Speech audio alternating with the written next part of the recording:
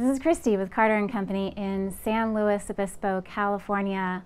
I am with Jeff Armstrong, president of Cal Poly State University, and he is going to tell us some information about the school, the students, your vision for the direction that Cal Poly is going over the next several years, and enlighten me.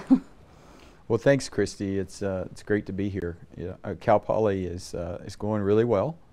Uh, one of our major um, underlying and guiding principles is learn by doing. And one aspect of learn by doing for all our students, faculty, and staff is constantly getting better. So that's one thing that, that guides us every day, learn by doing. So the new year is off to a really fantastic start. Uh, we had uh, almost 67,000 applications for fall of 18, and we're welcoming 5,300 new students to campus. The majority are first-time freshmen uh, and about 950 transfer students. And they come from all over California, the majority, about 85% or more, and the rest come from all over the U.S. and around the world. Uh, we just had move-in this weekend, so we had we had parents from all over all over California, uh, Colombia, China, India, South Africa, and so it's very exciting. Incredible. I know. I noticed the town was a lot busier. Uh, the restaurants were full and they loved that. yeah. So nice. So, talk to me about new housing. The school just. Yes, we we um, opened the for the first time since 1973. We opened new housing for freshmen. Uh, we opened 1,475 beds which really won't provide any more beds on campus for freshmen because we were housing all our freshmen on campus, but we were using apartments built for sophomores. So we're going to have an additional 800 students from the neighborhoods now moving to campus. But back to those 1,475 beds for freshmen, we're very excited because we worked very, very long and thoughtfully uh, with the Chumash tribe, and the, the uh, new housing is named Yaki Yakitutu which means community. And each of the buildings, like Napumu or Telhini, all of the buildings have names. They have meanings of places that are very important to the Chumash. So not only do we have new housing, but we have an opportunity for students to learn respect, to learn the language, and to remember those who came before us. Mm -hmm. So we're very exciting. That's going to put us at over 8,000 students living on campus. So all of our freshmen, unless they have an exemption, and then uh, probably about 50 to 55 percent of our sophomores. And then we're going to start planning another 2,600 beds. We're actually in the planning phases, and as soon as possible, uh, we will have another 2,600 beds, which will push it up, push us on up toward uh, 11,000. And our final goal is to have 15,000 beds on campus. Now, if you couple that with the fact that we're not really going to grow our enrollment over the next few years, we'll be pulling more and more students out of the neighborhoods on campus. That's good for several reasons. First of all, if students live on campus for two years, their retention at the junior year and their subsequent graduation rate is increased by as much as 10%. For low income students in certain majors, it's as much as 15%. And then we're pulling students out of the neighborhoods, and we hope we can increase the housing inventory for the working uh, families, our faculty and staff, and everyone else in the neighborhood because housing is such a problem. So we can actually do several good things in one full, you know, one move by adding more housing. Hmm. Okay, that is a concern for residents that you know, are just, there's Cal Poly students and parties right next door to their, you know, beautiful house on Chorro Street, for instance. So I think that will make a lot of people glad to hear. Yeah, and our students, um, the, the, the overarching behaviors and everything with the students has consistently, we believe, gotten better over the years. If you look at um, some indicators of that, they've, they've dropped dramatically. Uh, but we do have our students, they're here, they're part of town. And uh, as I mentioned earlier, the, the, the businesses, the restaurants, they, they all appreciate and enjoy that business. So we're working really hard to you know, maintain our enrollment. Uh, uh, in the next few years, we'll, we'll drop it to about 21,300. And we won't increase our enrollment until we have additional offices, laboratories, uh, lecture halls, as well as able to hire additional faculty and staff. So we won't be growing our enrollment until 2021, 2022 at the earliest. Okay. And Talk so- to me about this new initiative. Yeah, so a, a, a- a new initiative and something we're really proud of that we've been working on for several years uh, is, is really related to lowering barri- barriers. Cal Poly is a very uh, special place. Uh, we would love to be bigger and accept more students, but the facts are we have limited enrollment, and so it's very high demand uh, to get into different majors. So Cal Poly students are admitted right into a, a major. You know, they do senior projects. There's lots of other unique things, but we've found over the years uh, that lower income California students, we don't have the, the financial aid necessary for our campus fees. Because if you look at cost of attendance, it's campus fees, system wide tuition, uh, room and board, books, transportation, clothing. All that this fall for an annual for the annual year adds up to about twenty eight thousand dollars For one student. for one student, our tuition and fees, but that's everything. Our tuition and fees uh, are less than $10,000. So if you look at just the sticker price, we're a lower uh, sticker price than all of the University of California. But if you look at the cost of Cal Poly after you account for financial aid that's available to California students, we're the most expensive public university in California. The average is 18,000 after accounting for financial aid, and that's more than the UC average and more than the CSU average. So that's a barrier. So what we're going to do is take advantage of another set of numbers. Uh, out of state students, out of country students come to Cal Poly, and it's a tremendous bargain. Uh, in some cases, it's lower cost per year, even though there's some added fees. It's a lower cost for year, per year than their state. Say the state of Illinois, in-state subsidized, is more expensive than Cal Poly paying out of state. We also look at the number uh, and we compare it to the University of California average. We're about $22,000 under market on an annual basis for out of state students. So, our new proposal, and was approved as a pilot project by the CSU, is that we're going to charge the out of state students an on campus fee, charge them more, only new incoming undergraduate students, not current students, and then we're going to use the bulk of that money to provide financial aid for low income California students. Hmm. So the out-of-state students, while I hate to see a few of them are low, low income, I hate to see them may have to make other choices, but they have other choices.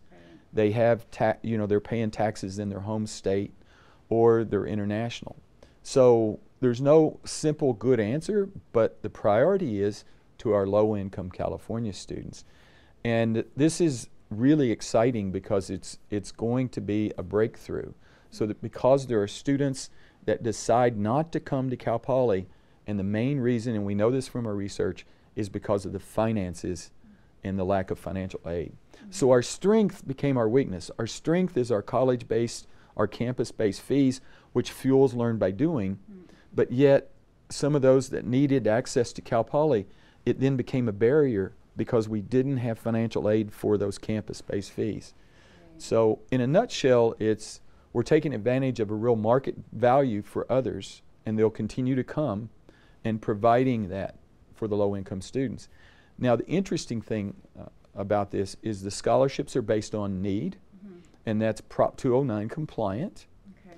but the majority of low income students are minority because they reflect the population of California. It's so in that sense, Cal Poly will see more diversity in the students, but it's a reflection of removing the barrier for low income students. That's not the only uh, reason, and that's not the only relationship to diversity, not at all. There are many other aspects, but it's a real breakthrough for Cal Poly to be able to remove this barrier due to financial aid. So the learn by doing system, okay, well, and then back to the financial aid. I mean, I, I am from Santa Cruz area I received financial aid. I went to Cal Poly and it was pretty wonderful, but I know I'm part of the exception that gets to do that. So this will be neat. Um, what would you tell um, parents of high school seniors throughout the country who are considering, you know, sending their kids to different colleges? You went here. What no, I, I actually I, I, love Cal Poly, and I I actually uh, was a first generation student in that my parents didn't go to college, but I attended a small school in uh, Murray State. It's small but very proud, okay. uh, Murray State, and um, I had limited financial aid because we owned land, mm. and at the time that counted against you. And so I graduated from not only undergraduate but graduate school with debt. And so I know I know what that's like. I don't know all the things that some of the students go through, but I understand that aspect. So what I would say to first of all to our California students who is the majority, we, we have frozen uh, our uh, out-of-state population uh, to be no more than 15 percent. So we're always going to serve the supermajority California, 85%. So first I would say to our California students is come and visit. Uh, participate in some of our high school programs in engineering and architecture. Uh, get to know Cal Poly. Look at a major that lines up with you because you apply to your major. And don't, don't think you're not Cal Poly eligible. Try. Uh, please, you know, apply to Cal Poly. And also, we'll be offering, starting fall of 19, additional financial aid. Okay. And those financial aid packages are available March 1. So I'd say to the students that, that uh, uh, are eligible for financial aid, fill out that federal form, uh, the, the FAFSA form. And then to the out-of-state and international uh, students, I'd say we still want you. It's still a very, very good value. And if you look at the rankings, our architecture program is the top public uh, architecture program in the United States.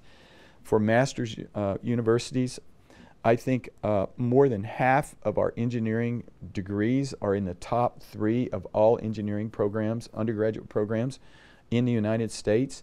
And all the rest of our colleges, uh, liberal arts, science and math, uh, business, uh, agriculture, food, and environmental sciences, all of the colleges are, are doing extremely well.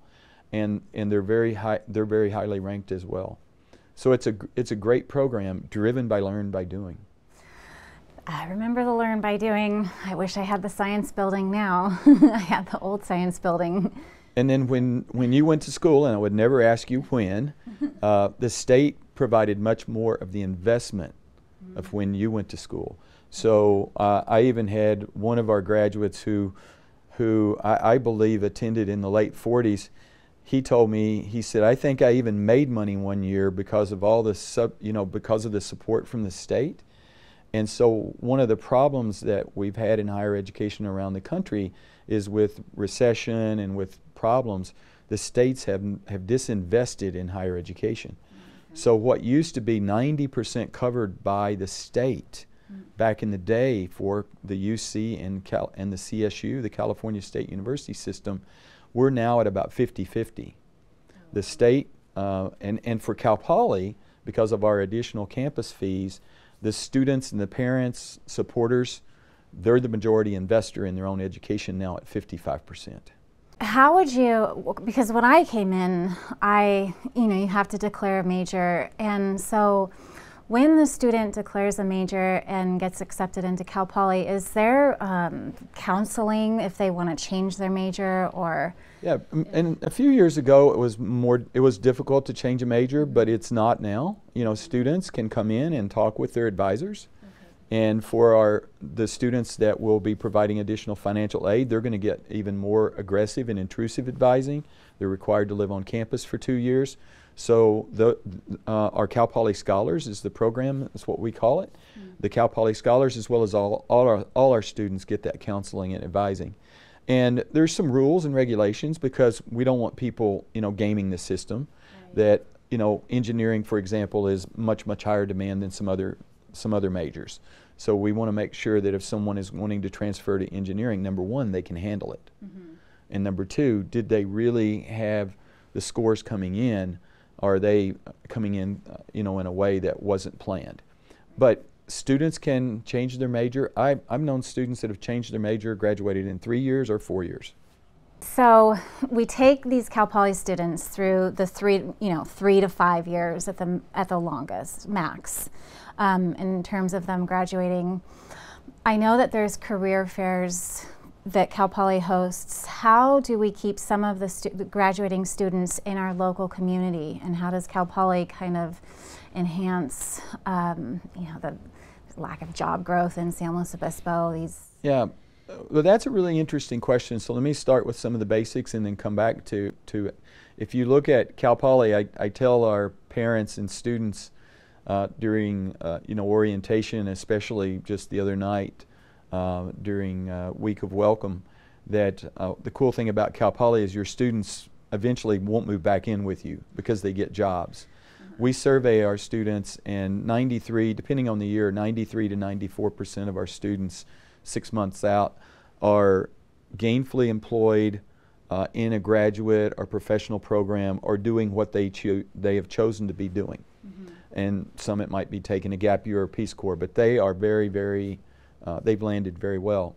We also know from um, uh, the surveys, and in fact, uh, just recently there was an article uh, published in the Tribune that uh, demonstrated the value of a Cal Poly degree.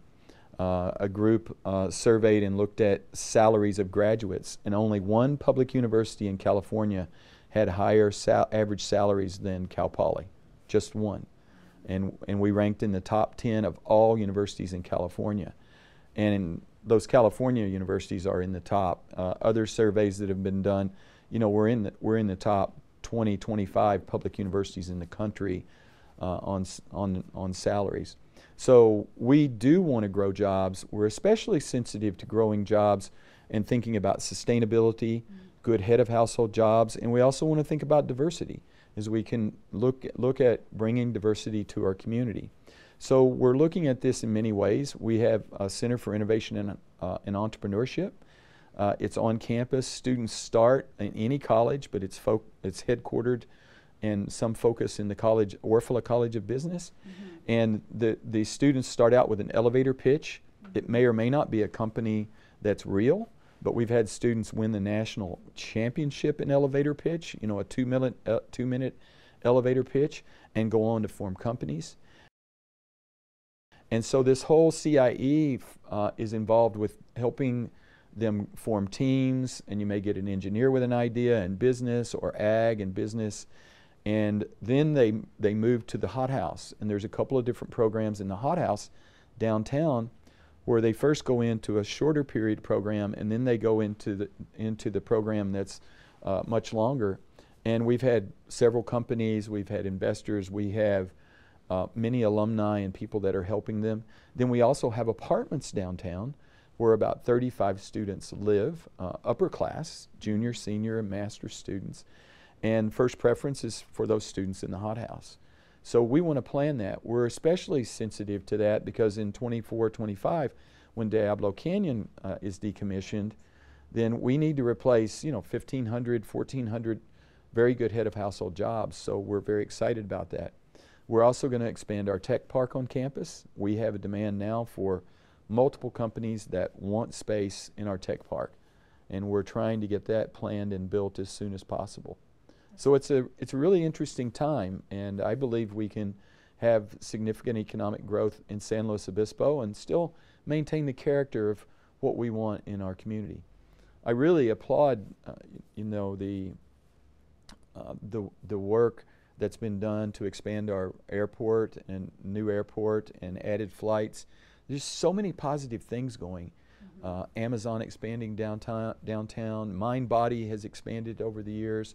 There's just many examples, and I think we will see more of that, and we want to be a part of that. And the hot house is pretty amazing. Doesn't the mayor have a, or she used to have a office in the hot, or a desk in the yeah, she's there quite often, and and the city supports the county supports and many donors support the hot house. So I appreciate you mentioning that because we have great partnership with the city and the county, uh, with the Chamber of Commerce, and there's a lot of uh, organized economic development effort that's going on with that partnership.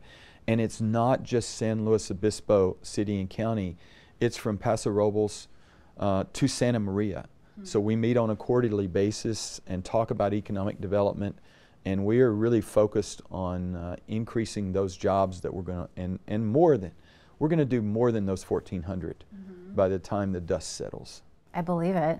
How do you feel about the technology in the classroom and um, you know, the online classes and things of that nature, could you increase enrollment with online programs? Um, I, th- I think there's a, I've always been engaged, and Cal Poly is engaged in technology.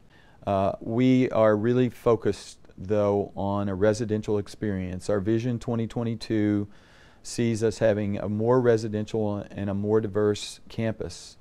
But for us, uh, online, there's a, a, a, significant number of our students that take online courses either from Cal Poly or Cuesta or from other universities.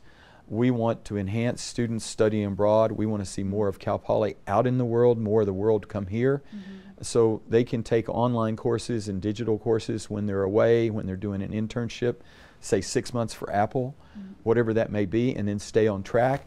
And then we have uh, professors that are flipping the classroom.